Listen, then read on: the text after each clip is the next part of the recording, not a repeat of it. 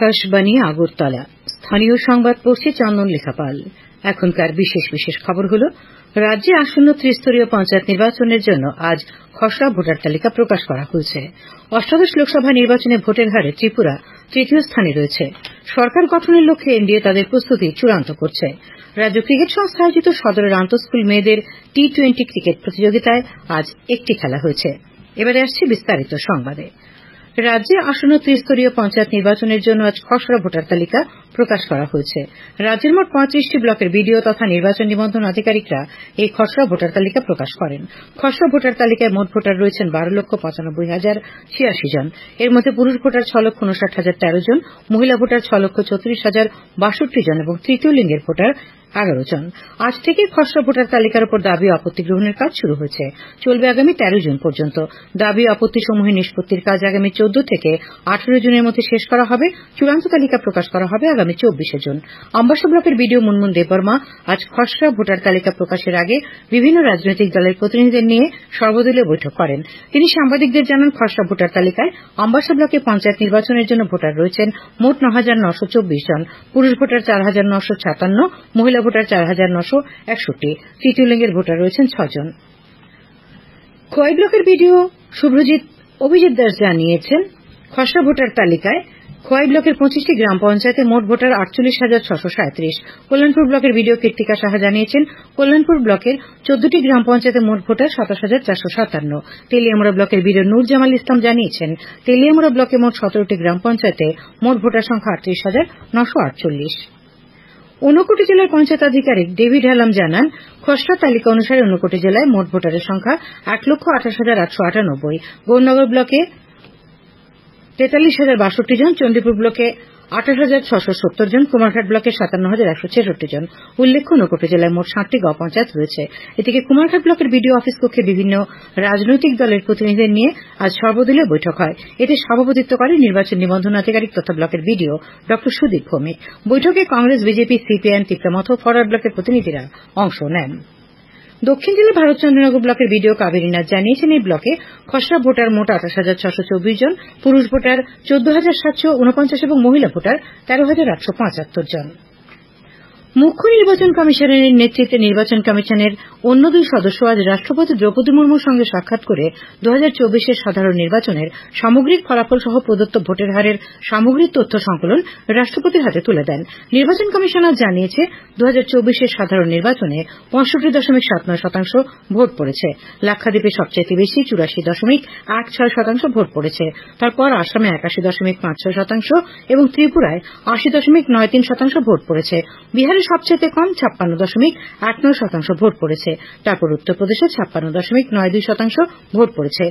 সাধারণ নির্বাচনে সপ্তম এবং চূড়ান্ত পর্যায়ে সবচেয়ে বেশি ভোট পড়েছে ভোটের হার তেষট্টি দশমিক আট আট শতাংশ।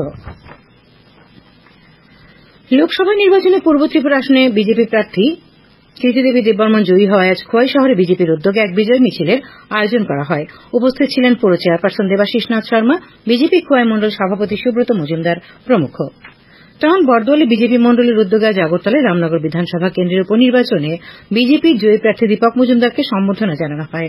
অনুষ্ঠানে শ্রী মজুমদার বলেন, জনগণ তাঁর প্রতি যে আস্থা দেখিয়েছেন, তার জন্য তিনি কৃতজ্ঞ। তাছাড়া আগরতলা পৌর নিগম অফিসেও আজ শ্রী মজুমদারকে সম্বর্ধনা জানানো হয়। Malaria, dengue, chikungunya, Japanese encephalitis রোগ প্রতিরোধের লক্ষ্যে আজ কৈলাস শহরে এক বৈঠক হয়। পৌরোহিত্য করেন ঊনকোটি জেলার জেলাশাসক দিলীপ কুমার চাকমা। পতঙ্গবাহিত রোগের বিরুদ্ধে আগাম সতর্কতামূলক ব্যবস্থা নেবার বিষয়ে বৈঠকে কর্মপন্থা স্থির করা হয়।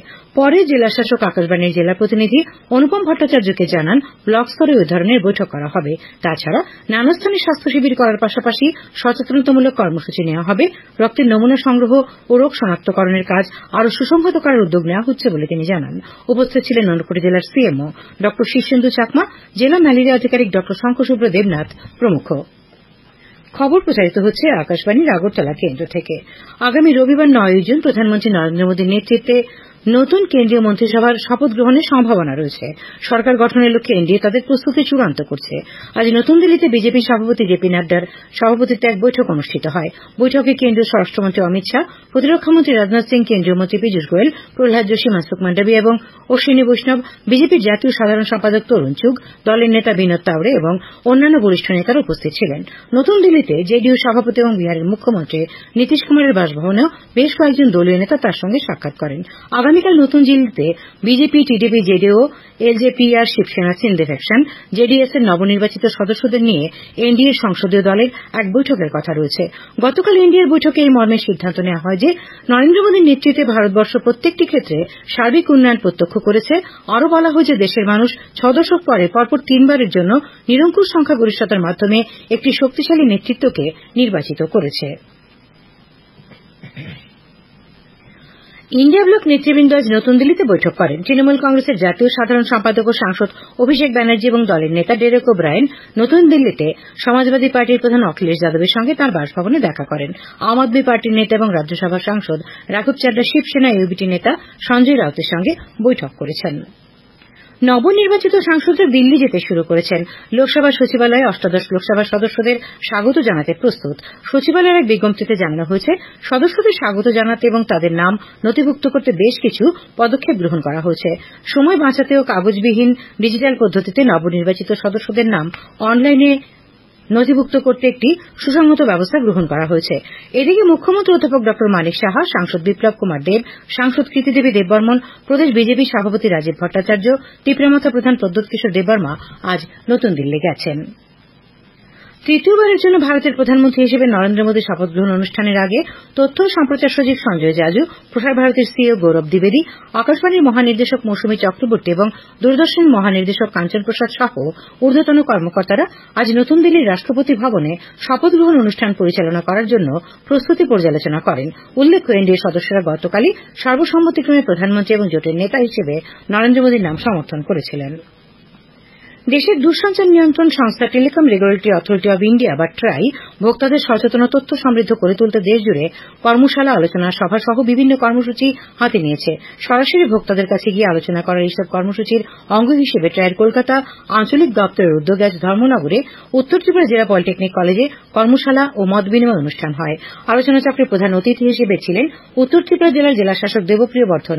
তিনি তার আলোচনায় এই ধরনের অনুষ্ঠান আরও বেশি করে করার গুরুত্বের কথা বলেন। সম্মানিত অতিথি, জেলার পুলিশ সুপার ভানুপত চক্রবর্তী এই ধরনের অনুষ্ঠানের জন্য ট্রায়ের প্রশংসা করেন। পলিটেকনিক কলেজের অধ্যক্ষ প্রণব দত্ত শিক্ষা প্রতিষ্ঠানগুলিতে ভালো মানের টেলিকম নেটওয়ার্কের গুরুত্বের কথা উল্লেখ করেন। আলোচনা চক্রে ট্রায়ের এছাড়াও নিলয় দত্ত গ্রাহক কেন্দ্রিক বিভিন্ন বিধি নির্দেশিকা নিয়ে আলোচনা করেন। বিশেষ করে মূল্যযুক্ত পরিষেবা অর্থাৎ ভ্যালু অ্যাডেড সার্ভিস অযাচিত বাণিজ্যিক যোগাযোগ বা ইউসিসি মোবাইল নম্বর পোর্টেবিলিটি বিভিন্ন অভিযোগের নিষ্পত্তির পদ্ধতি ডেটা পরিষেবা এবং তার বিভিন্ন মূল্য ইত্যাদি নিয়ে বিস্তারিত আলোচনা করেন।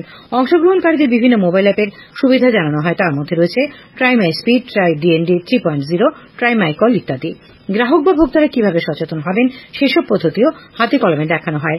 সাইবার অপরাধ ও সাইবার নিরাপত্তা নিয়ে আলোচনা করেন উত্তর ত্রিপুরা জেলার অতিরিক্ত পুলিশ সুপার জেরেমিয়া ডার্লং। ট্রাইয়ের যুগ্ম পরামর্শদাতা অসীম দত্ত সঞ্চার সাথী পোর্টাল সহ বিভিন্ন নাগরিক কেন্দ্রিক উদ্যোগ নিয়ে আলোচনা করেন। টিপরা ওমেন ফেডারেশনের তৃতীয় প্রতিষ্ঠা দিবস আজ আগরতলায় টাউন হলে আলোচনা সভার মাধ্যমে উদযাপন করা হয়। অনুষ্ঠানে উপস্থিত ছিলেন টিপরা মাথার প্রধান প্রদ্যুৎ কিশোর দেববর্মা দলের সভাপতি বিজয় কুমার রাঙ্কল সহ অন্যান্যরা। শচীন দেববর্মন স্মৃতি সরকারি সংগীত মহাবিদ্যালয়ে বি মিউজ অনার্স ও ডি মিউজে ভর্তির জন্য আবেদনপত্র গ্রহণ করা হবে আগামী দশই জুন থেকে আঠেরোই জুন পর্যন্ত। যোগ্যতা নির্ণায়ক পরীক্ষা হবে একুশে জুন। নির্বাচিত ছাত্রছাত্রীদের তালিকা প্রকাশ করা হবে পঁচিশে জুন। ভর্তি প্রক্রিয়া চলবে পয়লা জুলাই থেকে তেসরা জুলাই পর্যন্ত। ভর্তির আবেদনপত্র কলেজের website W W W dot S D M gov music college dot in থেকেও ডাউনলোড করা যাবে। কলেজের অধ্যক্ষ এই খবর জানিয়েছেন। বিশ্ব পরিবেশ দিবস উপলক্ষে আজ খোয়াই দশরদেব মেমোরিয়াল কলেজে পরিবেশ রক্ষার উপর সেমিনার এবং বৃক্ষরোপণ কর্মসূচি হয়। উপস্থিত ছিলেন খোয়াই পৌর পরিষদের চেয়ারপারসন দেবাশিস নাথ শর্মা, অধ্যক্ষ খোকন মজুমদার, কলেজের টিচার কাউন্সিল সচিব ড বাবুরাম স্বামী প্রমুখ। কলেজ চত্বরে বৃক্ষরোপণ কর্মসূচি পালন করা হয়। খেলার খবর। রাজ্য ক্রিকেট সংস্থা আয়োজিত সদরের আন্তঃস্কুল মেয়েদের টি টোয়েন্টি ক্রিকেট প্রতিযোগিতায় আজ একটি খেলা হয়েছে।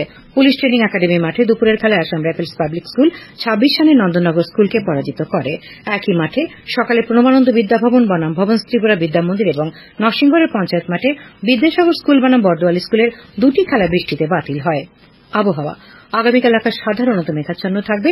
দু এক জায়গায় বজ্রবিদ্যুৎ সহ হালকা থেকে মাঝারি পর্যায়ে বৃষ্টিপাতের সম্ভাবনা রয়েছে।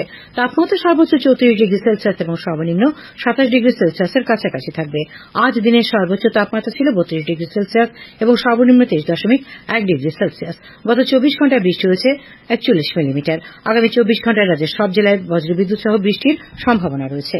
শেষ করার আগে খবরের বিশেষ বিশেষ অংশগুলি আরেকবার।